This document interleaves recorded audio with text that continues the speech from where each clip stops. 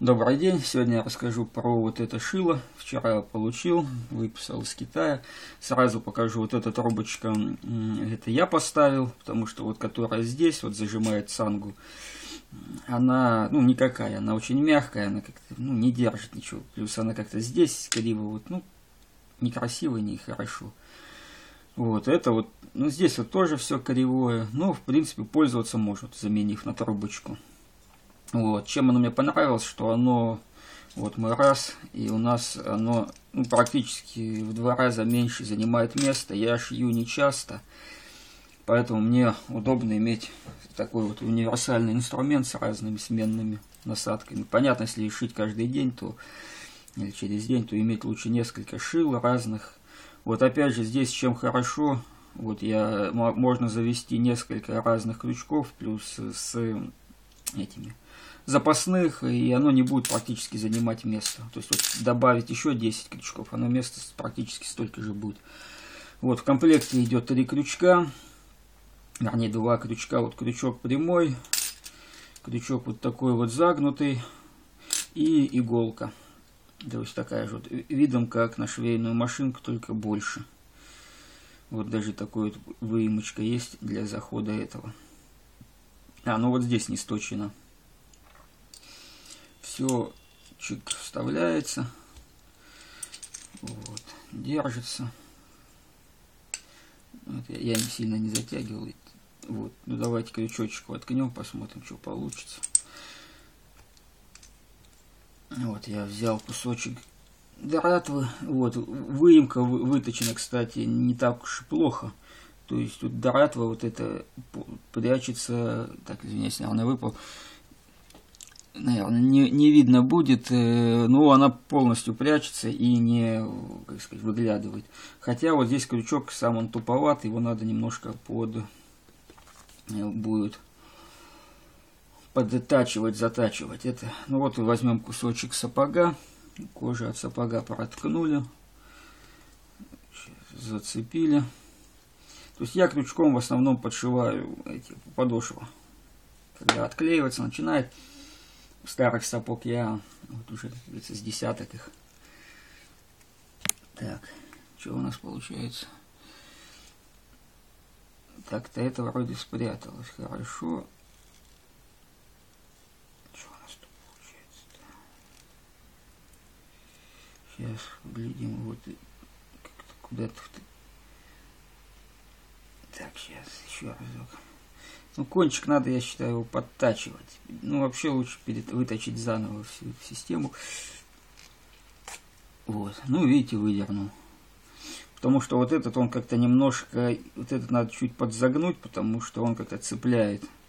Когда выходит, он начинает цеплять вот эту.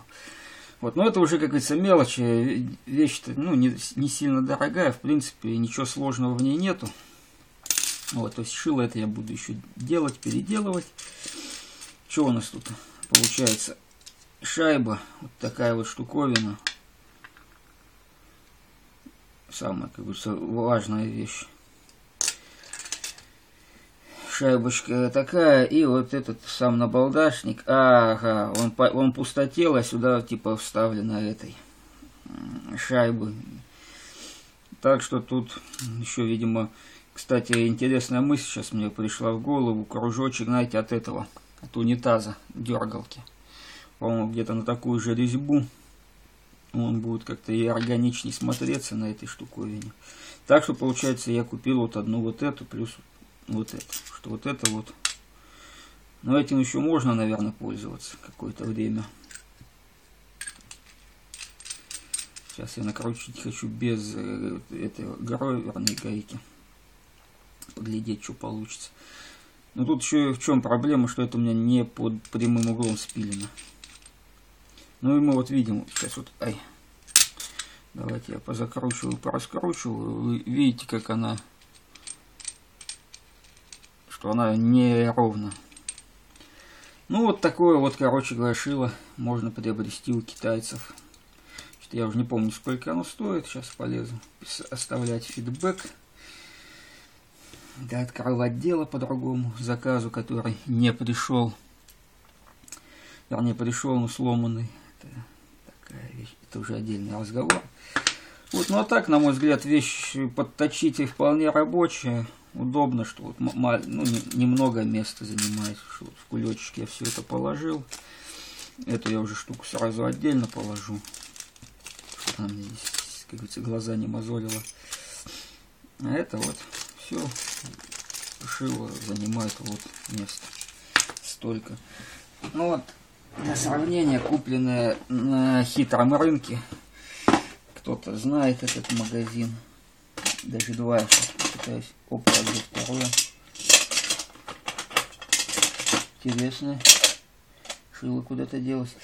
Ну вот, допустим, шило, купленное на рынке. То есть это вот шило, которым я учился шить, которое я сломал. Это было не мое шило, я человек купил новое.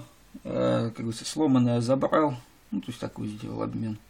Так как я сломал, надо было вернуть. Чуть-чуть расплющил. Ну, здесь сделано довольно фиговасто. Потому что я и не знал, что надо этой, как их делать. Вот, но тем не менее, сравните сами. Я достал его по размерам. Есть сюда еще что-нибудь надо одеть. Сами видите, сколько места занимает. Вот такие вот дела. Спасибо за внимание. Всего доброго, удачи шейте, ремонтируйте обувь.